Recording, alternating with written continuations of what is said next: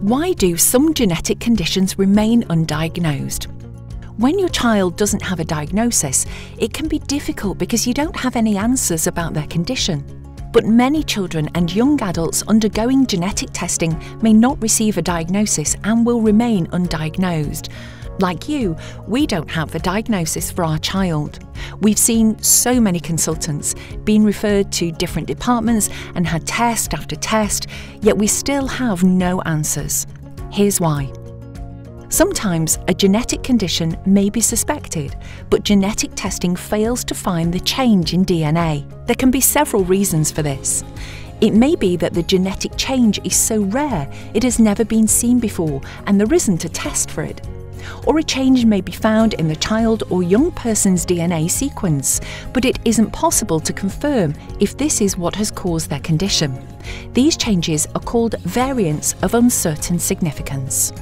It could be that your child's symptoms might be different to those of other people with the same condition. So the condition is not tested for because it doesn't appear to be that condition. Children affected by a syndrome without a name can have a range of different symptoms, and each child is likely to be affected differently. Some children may not have any learning disabilities but may be physically disabled whilst others are physically unaffected but have learning disabilities. Some children, like mine, can have complex medical needs. Scientists keep making big advances in our understanding about which genes are associated with health conditions, the tools used to analyse genetic data, and how changes in a gene affect how that gene works. This is known as the functional consequences of different variants. This means that if your child has had genetic testing, there is the possibility that a diagnosis could be identified for them in the future.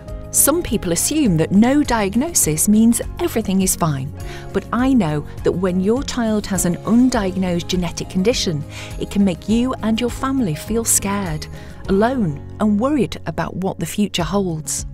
Finding Swan UK has been a lifeline.